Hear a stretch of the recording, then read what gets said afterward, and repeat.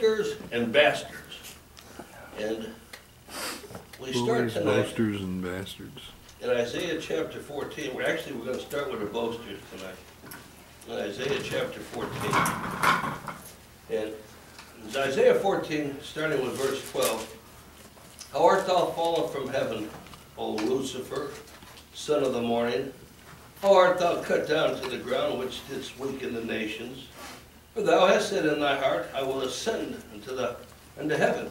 I will exalt my throne above the stars of God. I will sit also on the mount of the congregation in the sides of the north. I will ascend above the heights of the clouds, and I will be like the Most High. Yet thou shalt be brought down to hell, to the sides of the pit. It's an interesting thing in here. That word in verse 14, heights, uh, if you look it up in the Hebrew, that word is Obama. It's spelled U-G-B-A-M-A. If you take the U-G off and just B-A-M-A, in the Hebrew, it's the high place or heaven. The first is heaven, and then after that, it's a high place. And it's an interesting thing too, because if you go to Ezekiel chapter 20, and Ezekiel chapter 20 and verse 29, you read this. Then I said to them, What is the name whereunto you go? And the name therefore is called Bama unto this day. Wherefore say unto the house of Israel, Thus saith the Lord God, Are you polluted after the manner of your fathers, and you commit whoredom after their abominations? For when you offer your gifts, and when you make your sons pass through the fire, you pollute yourselves. With all your idols, even unto this day, shall I be inquired of by you, O house of Israel. As I live, saith the Lord God, I will not be inquired by you. And that which cometh into your mind shall not be at all that you say. We will be as the heathen and the families of the countries to serve wood and stone. Well, it's an interesting thing because when we talk about Obama, here, actually his name is right there, it's spelled differently, but Obama, and the word there means the elevated one, the elevated one. And if you uh, go to uh, Luke chapter 20, it's an interesting thing. In Luke 20, no, I'm sorry, Luke 10, verse 18.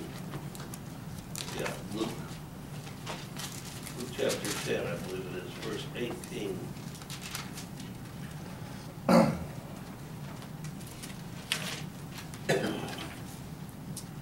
And he said, and he said unto them, I beheld Satan as lightning fall from heaven.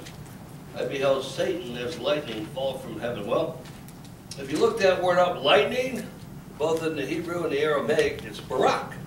I beheld Satan as barak fall from, and guess what the heaven there is? The word is Bama. In the Greek, you have, so or in the Hebrew. So I saw Satan as lightning, as Barak fall from Obama. That's interesting, isn't it? Hmm. But anyhow, going back to Isaiah 14. Now, here old Satan makes a boast. Mm-hmm. And his boast is that he's going to ascend above the heights of the clouds and he's going to be as the Most High. Well, Dr. Shannon, we know of some others that have made such boasts. That fellow called Karl Marx. He said that he would rise up out of the ashes and he would ascend to be equal with God and he would take his gloved fist and shake it in the face of the world and then he would be God. But I don't think he made it. No. He didn't make it. Then we had another, a fellow named Saul Alinsky. Now, Saul Alinsky, he dedicated his book that he wrote uh, to Satan. And in there, in the intro, he says, to the, to the first real and greatest revolutionary, rebel, Satan, he, Lucifer, he donated, he dedicated his book to Lucifer. Now, he was Hillary Clinton's role model and his idol, and Barack Obama's too. Where I come from, if your hero is a Satan worshiper, you're a Satan worshiper. I wonder how he's doing today. Uh, I don't think he has any lack of, uh, of heating, he has. Mhm. I think he's in a warm climate. And then, so he did some boasting and uh, both of them and, well, Probably begging for talk's cheap, isn't it? Then if you turn over to Genesis chapter nine, there's another fellow, old Nimrod. Old Nimrod wanted to have a new world order. And uh, uh, he wanted to build a, a tower all the way to heaven and challenge God. And uh, his agenda really was no different than that of the United Nations, is it? And we read, starting in verse 11, And the whole earth was of one language and of one speech. And it came to pass, as they journeyed from the east, that they found a plain in the land of Shinar, and they dwelt there. And they said one to another, Go to, let us make brick and burn them thoroughly. And they had brick for stone and slime as they for mortar. And they said, Go to, let us build a city and a tower, whose top may reach into heaven. And let us make us a name, lest we be scattered abroad upon the face of the whole earth. And the Lord came down to see the city and the tower where the children of men build it. And the Lord said, Well, the people is and they have all one language, and thus they begin to do. And now nothing will be restrained from them which they have imagined to do. Go to, let us go down, and there confound their language that they may not understand one another's speech. So the Lord scattered them abroad from thence and upon all the face of the earth, and they left to build a city. Therefore is the name of the, of it called Babel, because the Lord did their confound the language of all the earth. And from thence did the Lord scatter them abroad upon the face of the earth.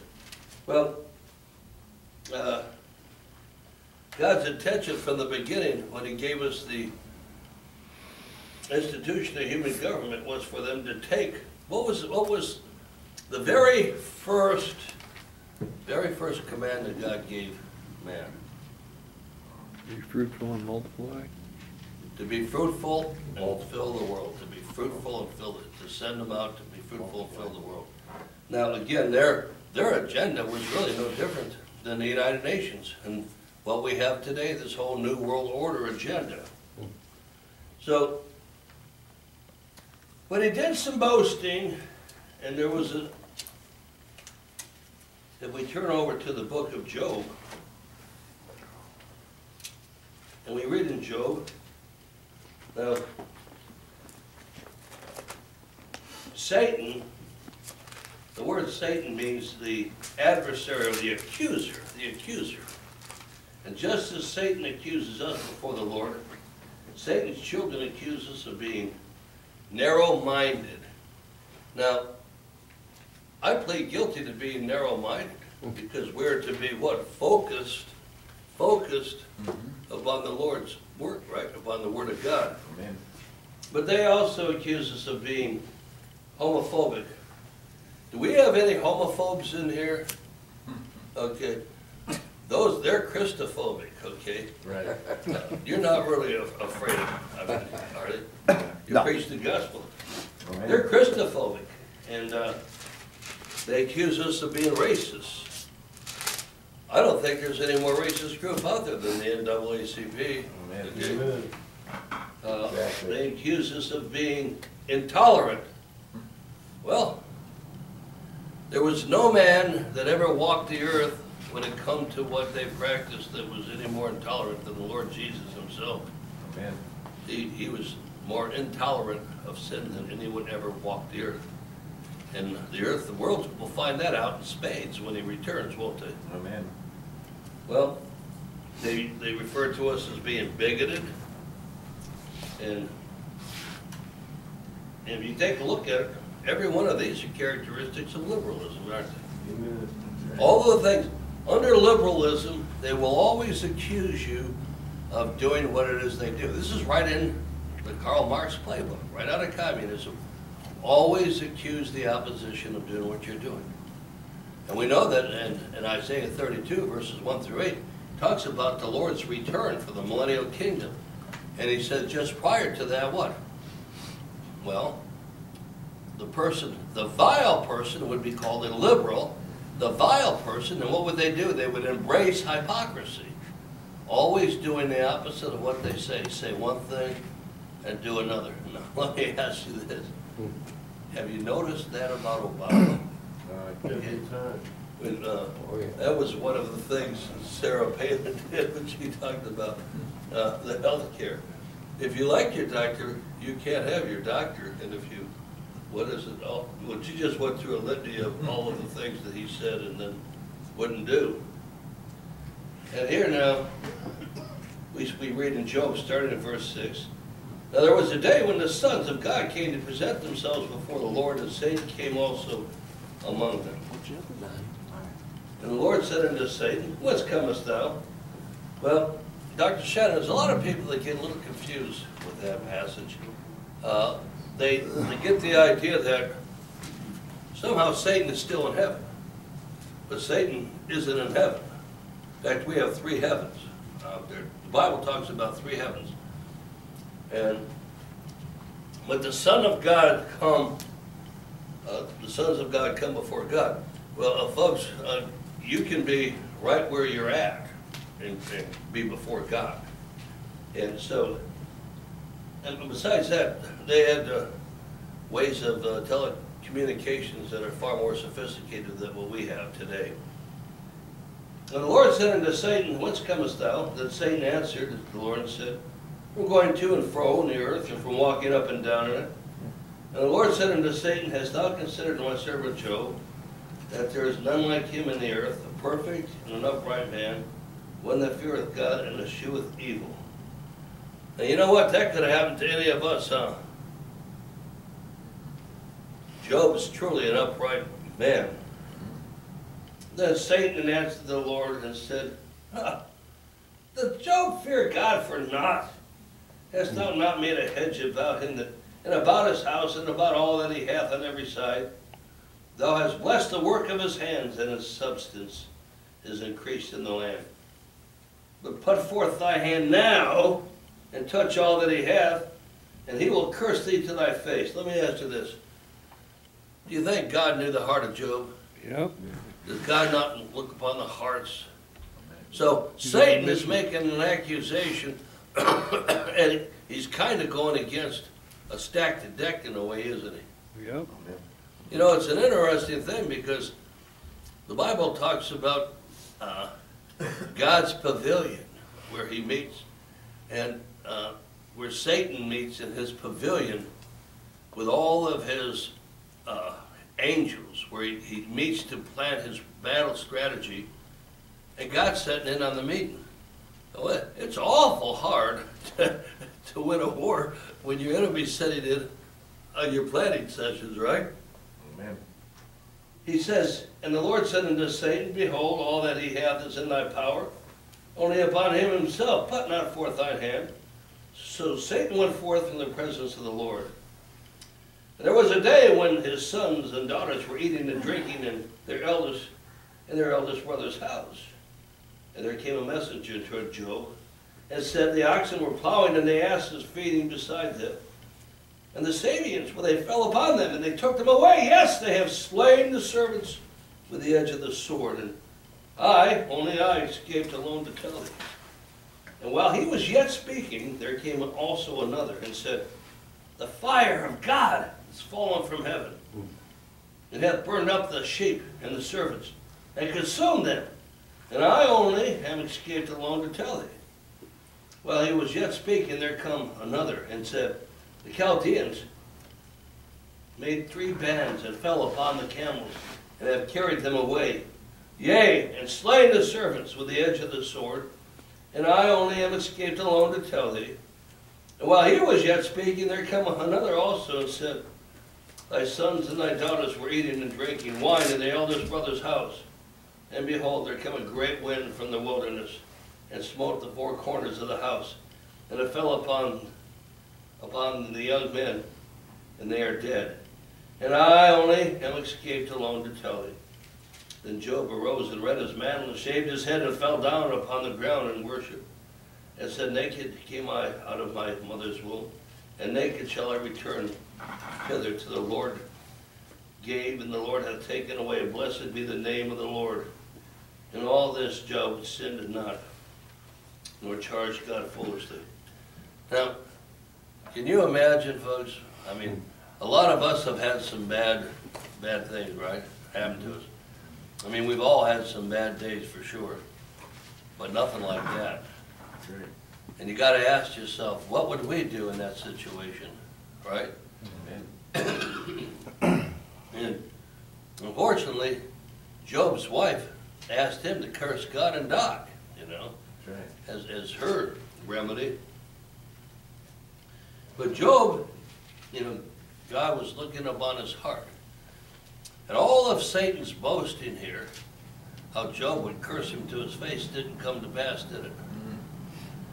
Well, if we go over to First Kings, uh, First King, chapter eighteen.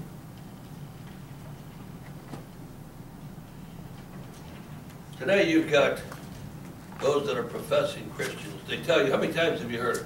I'm a, Chri-" in fact, I got a neighbor, the professor, you know Bill, and uh, he's a professor, retired, uh, math professor, and he, well, he- he has a high IQ, so he professes himself to be a genius and his children geniuses. But he retired from the public school, him and I used to, well, we used to jog together, and then as the years went by, we walked together, and, and uh, so now we, we kind of, we don't do much anymore. Now you sit together. Yeah. But uh, anyhow, we used to have some interesting arguments. And this fellow, uh, in the conversations, always would profess to be a Christian. He attended a United Methodist church. And, uh, but he believed in evolution, and uh, he believed in abortion for the black races, that we were. So one day, we were at home, and I I was just kind of getting enough of him. And uh, just as we were getting back to my house, I told him, I says, you know, I can teach creationism and prove it in five minutes. You couldn't prove evolution to me in five years. And with that, he said, well, how could you do that? And I said, it's not hard. And I said, Bible says God created heavens right there. God created the earth right there. God created men, here we are. I said, you can touch me, see me, you can hear me, right? I said, and we're here exactly that way. I said, I've never seen anything evolve, and you've never seen anything evolve. I don't know anyone that's ever seen anything evolve, and you don't know anyone that's ever seen anything evolve. I said, so, there's no evidence, right? He says, yes, but theoretically, you are only here if people acknowledge you're here. If no one acknowledges you here, theoretically, you're not here. So I did the only thing that I could do. I got him in the headlock and I touched him at the top of his head. And he's yelling, ah, stop, stop, because he didn't have much up there and he had less. My wife comes out on the back porch and she said, what in the world are you doing? I says, honey, I'm being acknowledged. She said, I'm not here. Well, we never had that conversation again. That was, that was an interesting conversation. Anyhow, starting over here in First Kings chapter eighteen, uh, you know, there are those old, old Elijah. You know, he's, he's brought three years of drought on the land, and old Ahab's been out looking all over for him, so finally he goes to meet Ahab. And uh, he says, "Why why don't we just find out, okay, whose God is God? Let's have a contest down here." So Ahab sent all of the children of Israel and gathered the prophets together unto Mount Carmel. And Elijah came unto all the people and said, How long halt ye between two opinions? If the Lord be God, follow him, and if Belial, then follow him. And the people answered him not a word. Then said Elijah unto the people, I, even I, only remain a prophet of the Lord, but Baal's prophets are four hundred and fifty men. Let them therefore give us two bullocks, and let them choose one bullock for themselves, and cut it in pieces, and lay it on wood, and put no fire under it. And I will dress the other bullock, and lay it on wood, and put no fire under. And call you on the name of your gods, and I will call on the name of the Lord, the God that answereth by fire. Let him be God. And all the people answered and said, It is well spoken. And Elijah said unto the prophets of Baal, Choose you one bullock for yourselves, dress it first, for you are many, and call on the name of your gods, but put no fire under it. And they took the bullock which was given them, and they dressed it, and called on the name of Baal from morning, evening, until noon, saying, Oh, Baal, hear us!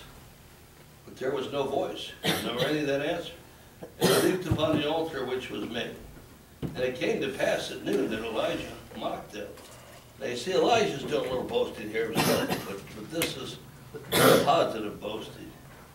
And said, well, cry aloud, for he is God.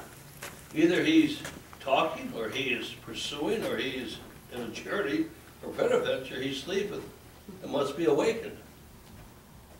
And they cried aloud and cut themselves after their manner with knives and lances till the blood gushed out upon them. And it came to pass when midday was past that they prophesied until the time of the offering of the evening sacrifice. And there was neither voice nor any answer, nor any that regarded. Elijah said unto all the people, Come near unto me.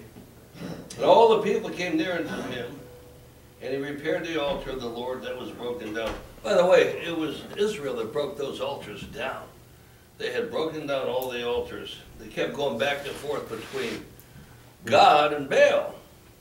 And you see, old Jezebel, uh, she had 850 of the Baal worshippers, then there was an, or 450, then there was another 400 uh, that came to her table. And those with, that ate at Jezebel's table, they would have these huge orgies. That's what they were. They were orgies in there. And he goes on, and Elijah took twelve stones according to the number of the tribes of the sons of Jacob, whom the word of the Lord came, saying, Israel shall be thy name. And with the stones he built an altar in the name of the Lord, and made a trench about the altar as great as would contain two measures of seed. And he put the wood in order and cut the bullocks in pieces and laid them on the, the wood and said, Fill four barrels with water and pour it on burnt sacrifice and on the wood. And he said, Do it the second time and do it. And they did it the second time. And they said, Do it a third time. And they did it a third time. And the water ran about the altar and filled the trench also with water.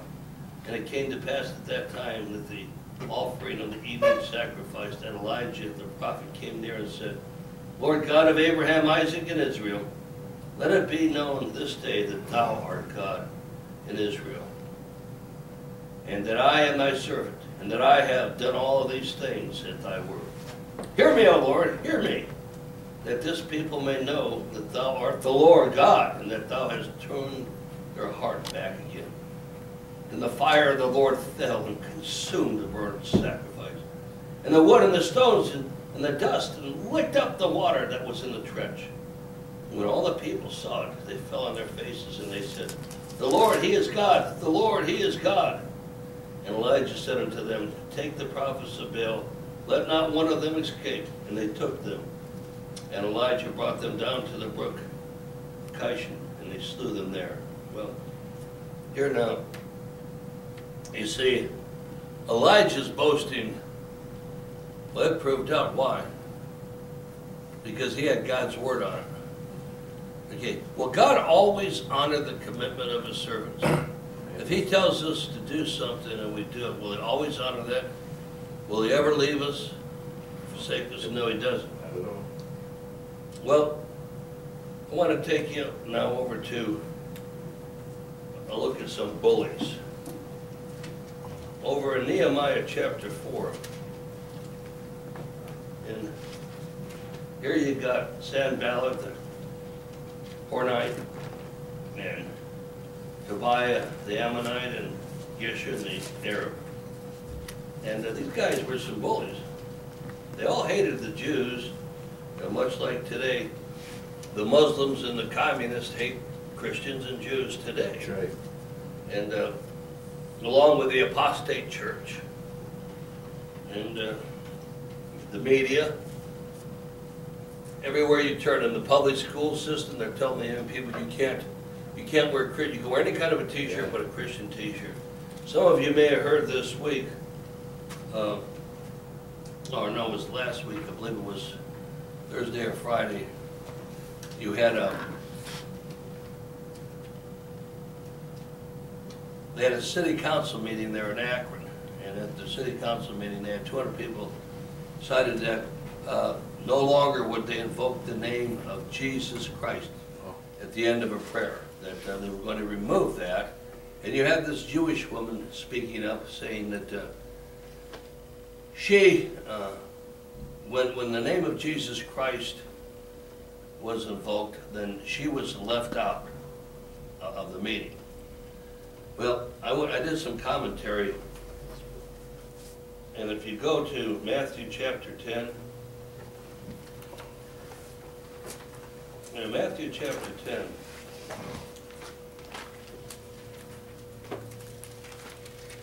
and in verse thirty-two, we read this, Matthew ten, verse thirty-two.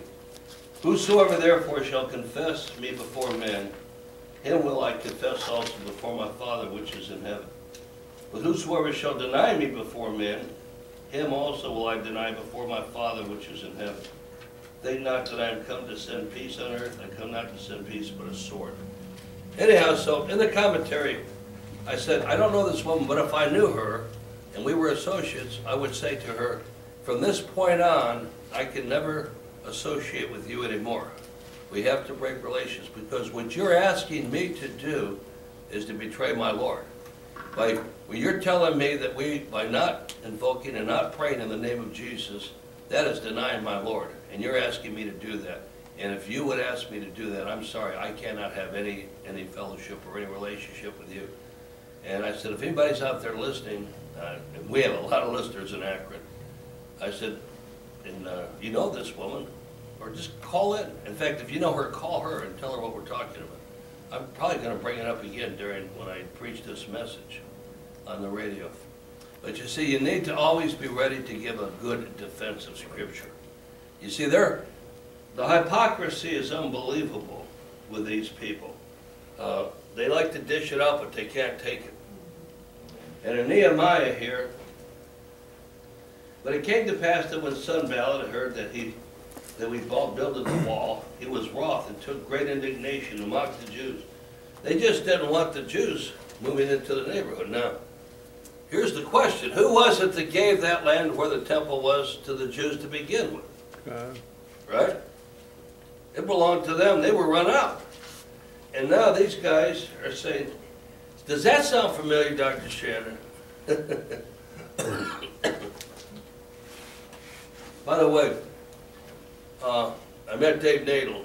Oh, did you? Dave was over at the, uh, I ran into him over at the uh, Oh, good. symposium.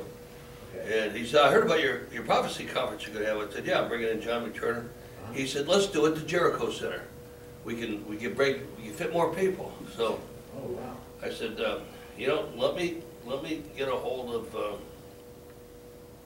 John, and let's see if we can do that. We'll, we'll promote it. Doesn't give me a lot of time Sure. to promote it. I might have to put it back a week or two. But, uh, When's that gonna be? Uh, it's gonna be in April. Okay. April.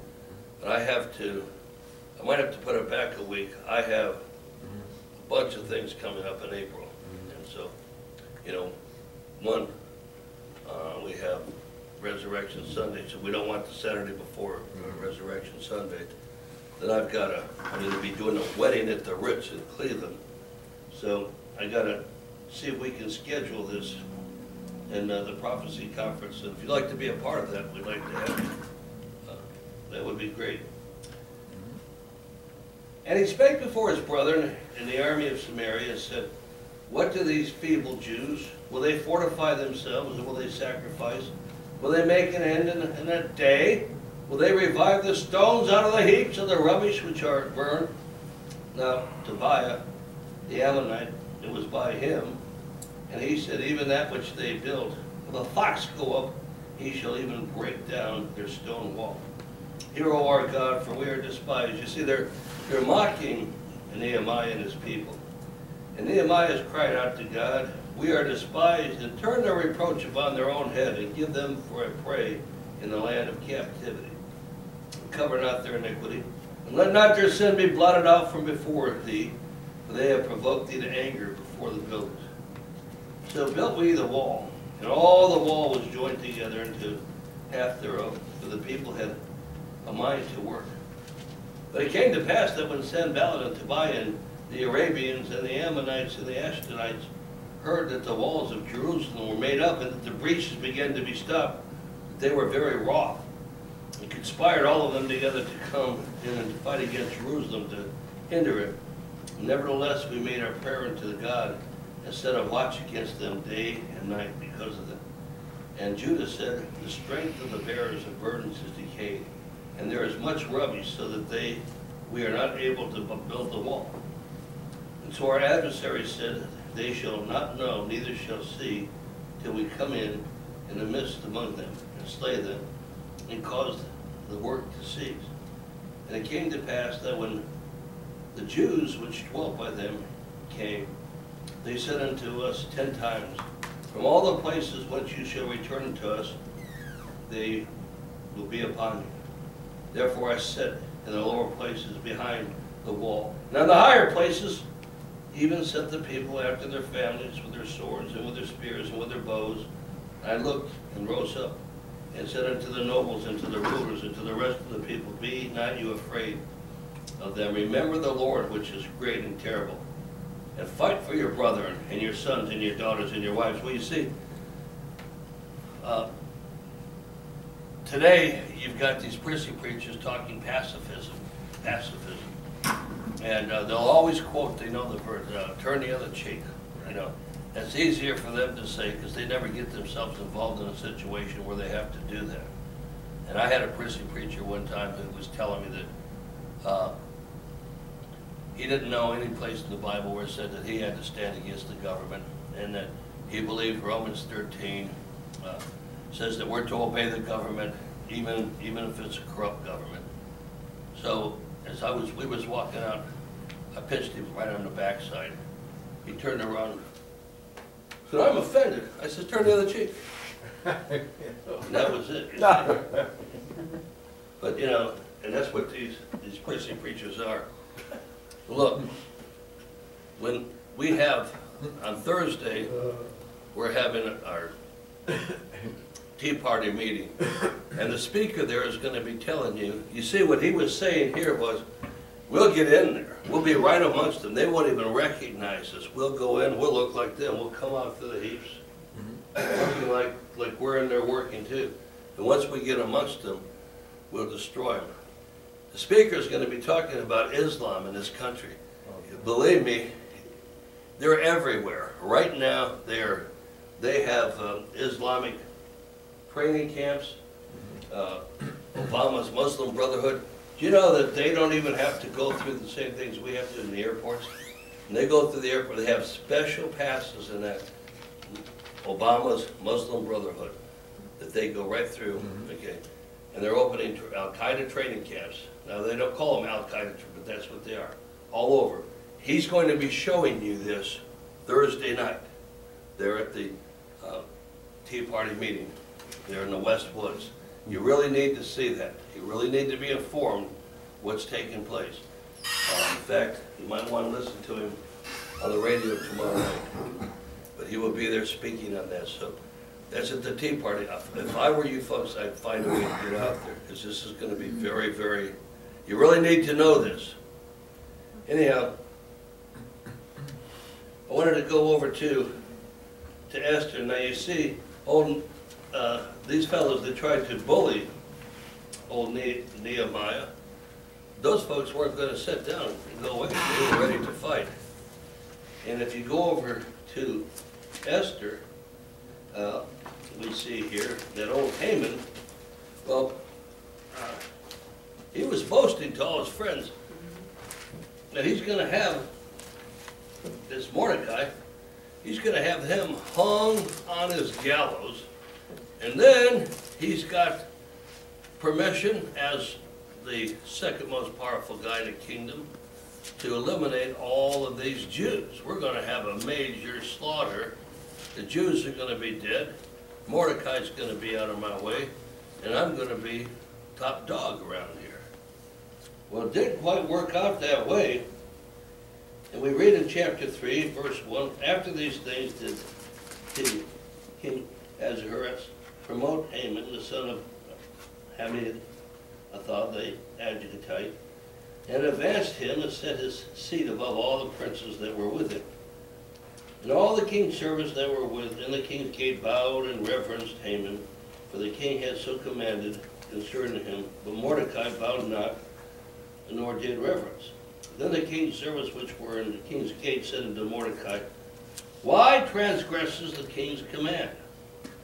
Now it come to pass that they spake daily unto him, and he hearkened not unto them, and they told Haman to see whether Mordecai's matters would stand for. And they had told them that he was a Jew. And when Haman saw that Mordecai bowed not, nor did him reverence, then was Haman full of wrath. And he thought scorn to lay his hands on Mordecai alone, for they had showed him the people of Mordecai, wherefore Haman sought to destroy all the Jews that were throughout the whole kingdom. Well, you see here, old uh, Haman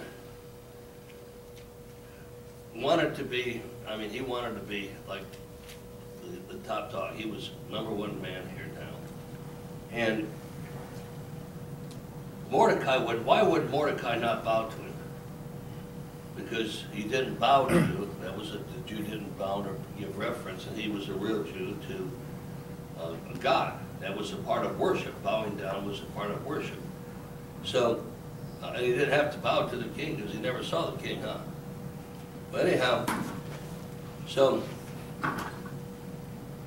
here now, Esther was uh, one of the prettiest queens that the king had. And Mordecai was her cousin, and he was also, uh, he kind of took her un- under his wing and uh, ministered to her. So what happened now was there were a time when some of those in the king's cabinet had plotted to kill the king. And they were down by the gates, and Mordecai happened to be there, and he overheard everything they said. And he- was a whistleblower, he blew the whistle on them, and that was put in the king's journal. Now, there was a day when uh, the king said, bring me forth my journal, and I want to see, I want to go back and see who, who deserves to get rewards. And when he saw that, he said, what was, what was ever done with this fella for blowing the whistle, whistle and saving my life? And they said, nothing. Well, now, here, when uh, the king called in Haman, he said, look, if I wanted to honor somebody, how would you honor him? If you really wanted to honor somebody, what would you do? Well, Haman thought it, the king was talking about him. And he said, well, this is what you do. Here is what you do. You put him on your horse, wearing your crown, wearing your robe, with your scepter, and you let him drive down, right down the middle of the street, and have all the people bow to him hmm. and sing praises to him. King said, that's a great idea, Haman. He said, I want you to go and do that to Mordecai. Well, can you imagine right about now, because here, Haman had been telling everybody he was gonna get rid of this Jew, and now what is he doing, right? And his whole family's upset by this time. So, Haman goes and he gets the uh, king to sign an order to have all of the Jews killed throughout the land, to go post it all throughout the land to all the people, uh, to go ahead, and not only that, but uh, he ordered the Jews not to resist. What do you think of that? Somebody said, we're gonna come kill you, now don't resist. Hmm. So now, you have this order throughout the land to go kill all the Jews, and the army was going to back you up, king's army. Well, old Mordecai, he goes to Esther and says, look, Esther, you gotta go before the king. Now, if you fail to do that, God will find a way to deliver his people. But you sure wish you had. You sure wish you'd have gone. So Esther prayed about that for a while, and then, you see, if you go before the king, he does, if he doesn't summon you, and you go in there before the king, mm-hmm. Uh, you're taking a real chance. If he does, if he does not summon you and you went in, if the king was to hold up his scepter, that means come on in, you're all right. But if he was to put it down, that meant you lost your head. And, uh, Queen Esther had a pretty head too, they say.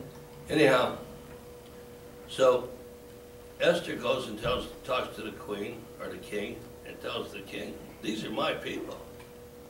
You look, Haman wants to kill all of my people. And the king said, well, I didn't know that, but I already put my seal on that. I gave him my ring and I sealed it, that order.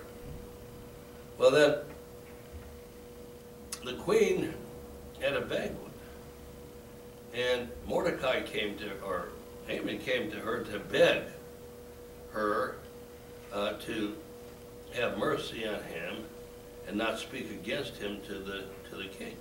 But she wouldn't. She refused him. Well, then he got, got a little beside himself and she was sitting on her bed. And he came and, and jumped on her bed begging her to, to not, uh, to go before the king and speak favorably of him. And the king came in and said, you come right in my presence? You come up to my queen's bed? Guess what ended up happening on the gallows that he had built for Mordecai? Get the hang on. Guess who got hung there? Haman and his whole family. Mm-hmm. But you see, that was the bullies of those days, and we have those bullies today. Everywhere you turn, that German family, now they're allowed to stay here, but they try to push them back, knowing that uh, the parents, the children will be taken from the parents. Uh, All over the, the country today, they're telling you, you can't pray in the name of Jesus. In the high schools, they're making the children, if, you know, you can wear any kind of a t-shirt, but one that has a scripture verse on it. Uh, Everywhere you turn, you've got this anti-Christian bigotry out there. And folks, we are not supposed to take it. We're supposed to stand up and resist Amen. death. Well, I want to go now to, to bastards. You know, you've got, you've got the IRS, you've got the EPA. By the way, did you know that the EPA, the EPA is giving classes teaching environmental wackos how to sue the EPA for money. After all, it's your money, it's your tax money. So they're actually giving workshops teaching the environmental wackos how to sue them so they can take your tax money and pay the wackos. Insane. Insane. Well, liberalism is insane. You've got the, the, the unions, the labor unions out there today. Yep. Uh, you've got the, uh, prison, boy, the prison system is a real bad one where it comes to persecuting Christians. Anyhow, turn over to Hebrews chapter twelve, and as we look at bastards. Now, I'll bet, I know for a fact, that every one of you in here had a human father, right?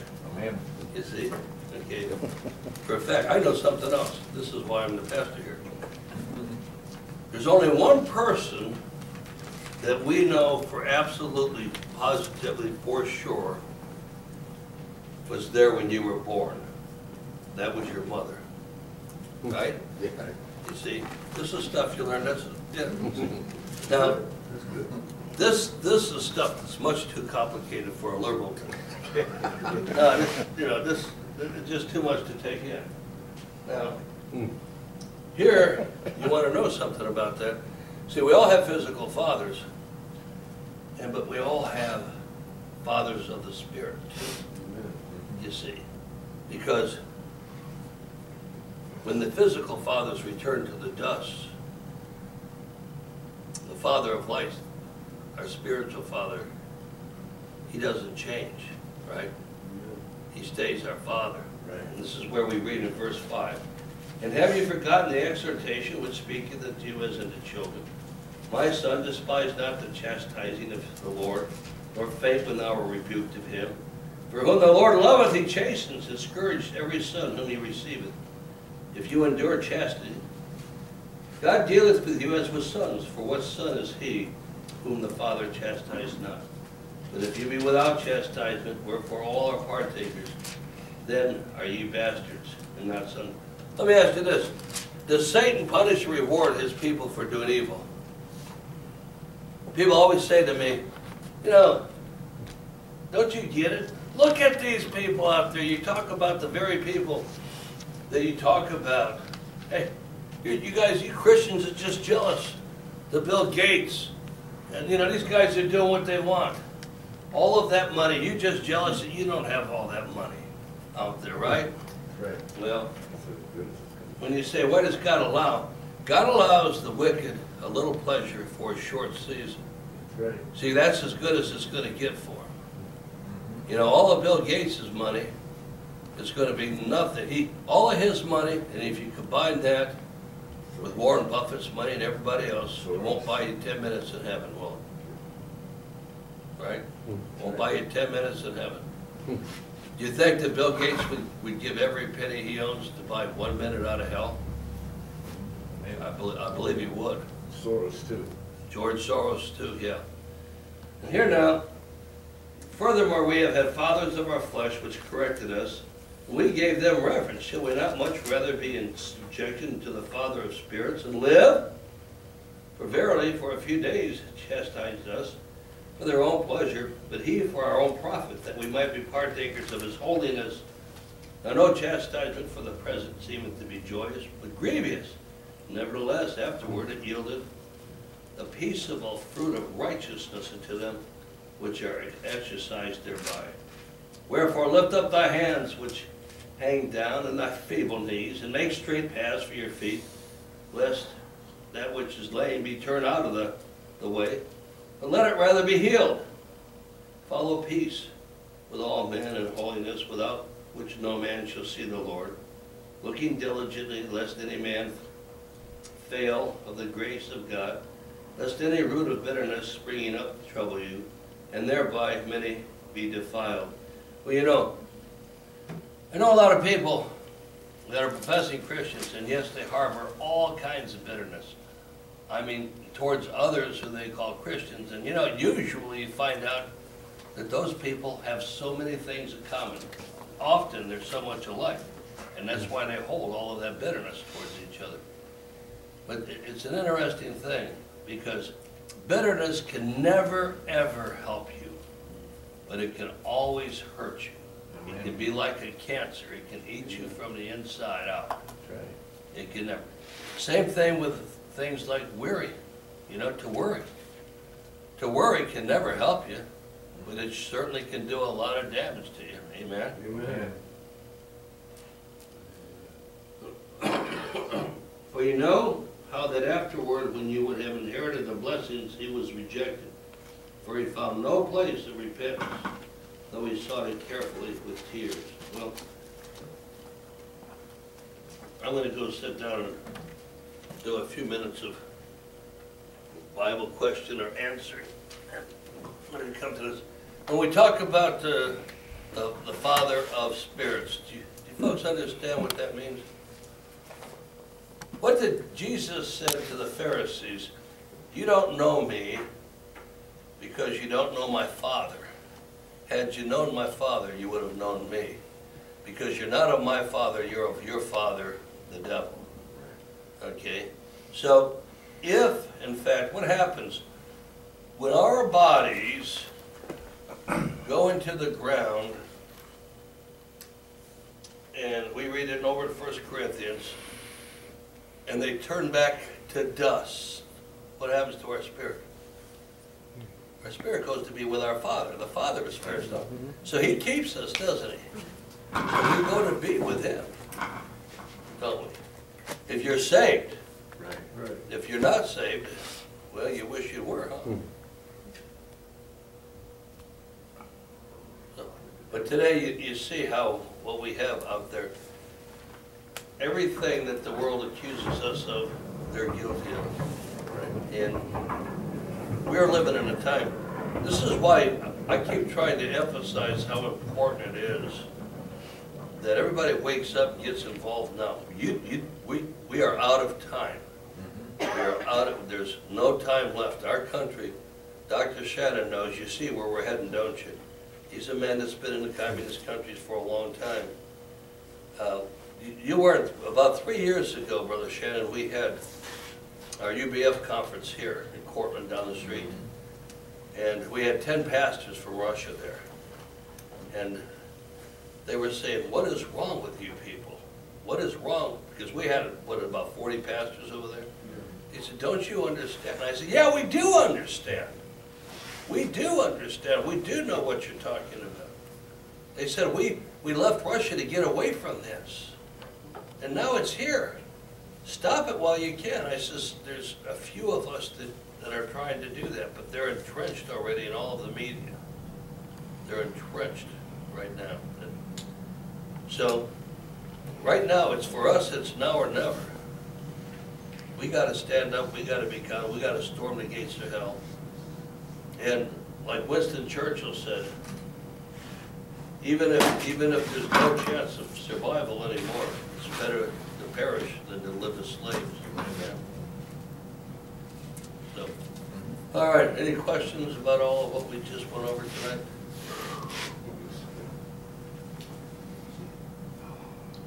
Well, usually you guys have all kinds of questions.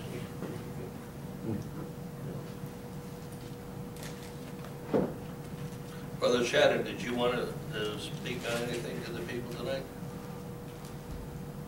the average Russian Christian says simply that people in, from the United States are stupid.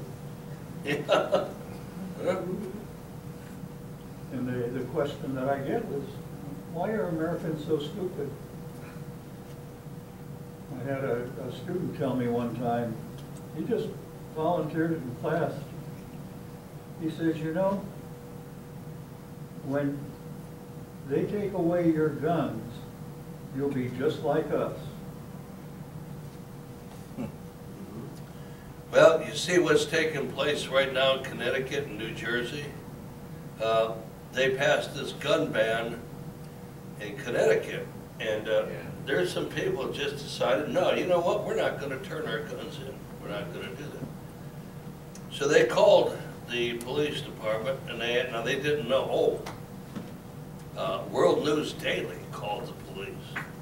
And they said, they, they said, well, what if, what if we decide not to turn our guns? in?" Now, the police didn't know they were being recorded, okay?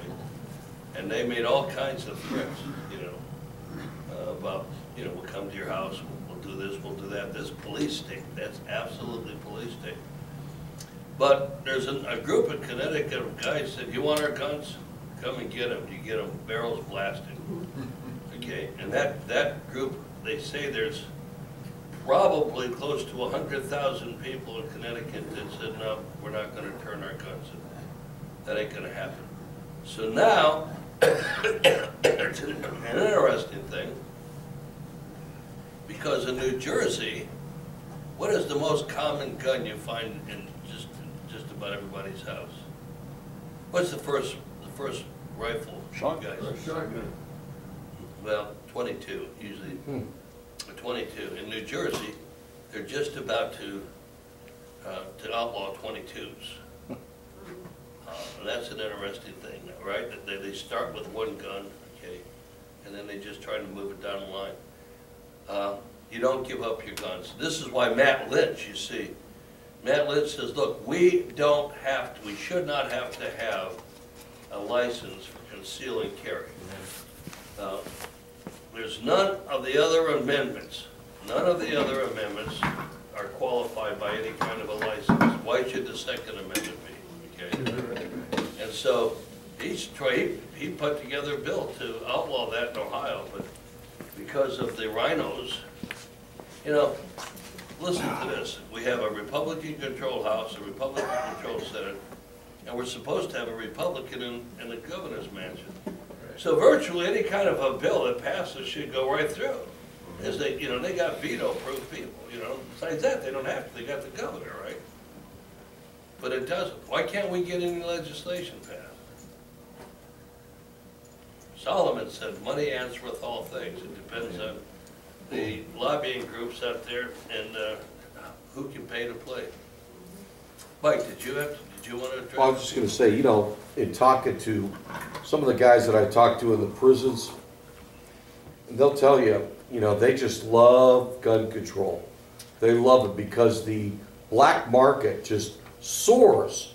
I mean, they can make all the, I've seen, you know, and before I was a Christian, I was seeing trunkfuls and truckfuls of handguns and things. This was thirty years ago. I mean, they can make all the gun laws they want. Outlaws will always have their guns. They, I was at a funeral right here in uh, Bristol, and it was with the uh, they buried one of their guys from the Brothers Regime, an outlaw group who brother Jim here used to be before he got saved, used to be part of.